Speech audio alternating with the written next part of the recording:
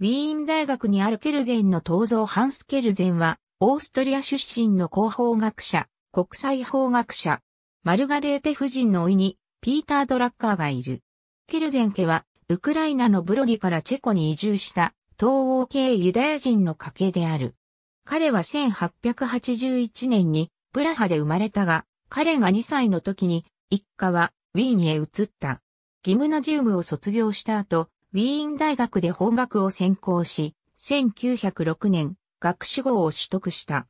1911年に彼は、広報と法哲学の分野において、大学教員の資格を得、最初の著作となる国法学の主要問題を書き上げた。1912年にマルガレーテ・ボンディと結婚し、二人の娘を設けた。1919年に彼はウィーン大学で広報、行政法の教授となった。ウィーンでは広報に関する専門誌を創刊し、自ら編集に当たった。同時期、時のオーストリア首相、カール・レンナーの要請により、オーストリア共和国憲法を起草し、1920年にはこれを制定させた。今日のオーストリア憲法にもケルゼンの影響は強く残っている。また、この頃彼はオーストリア憲法裁判所の終身判事に就任している。1925年、彼は一般国家学をベルリンで出版した。1930年にはケルン大学へ招聘された。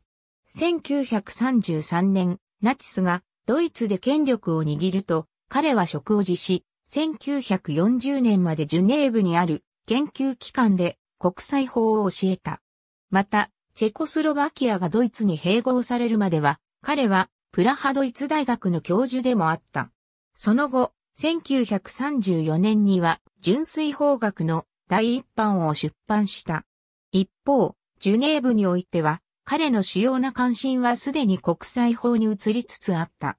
1940年になると彼はアメリカへ移り、1942年にはハーバードロースクールでオリバー・ウェンデルホームズ記念講義を担当した。1945年、彼はカリフォルニア大学バークレー校で政治学の教授になった。この期間中、彼は国際法と国際連合のような国際組織との関係について研究した。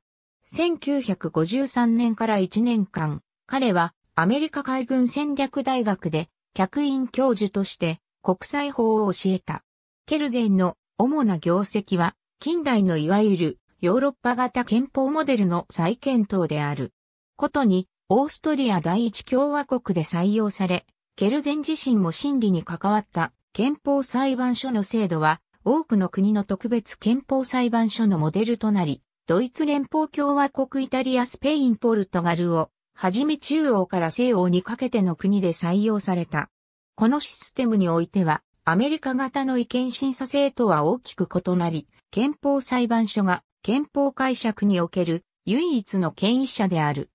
ケルゼンは20世紀において最も卓越した法学者の一人とされている。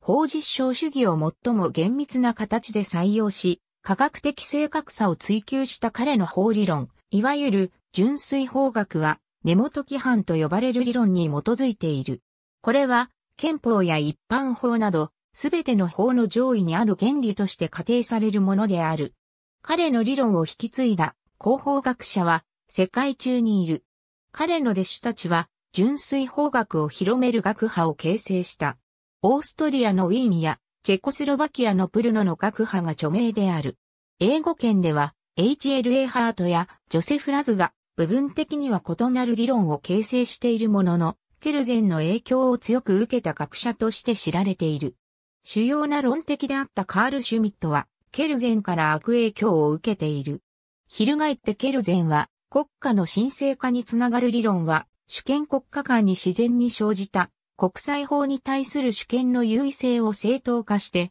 しまうと書いている。ケルゼンにとって主権とは理論的な概念ではなかった。彼はこう記している。意として個人をその決定に服せしめる以外の何者でもない主権概念から人間は離脱しうると。ありがとうございます。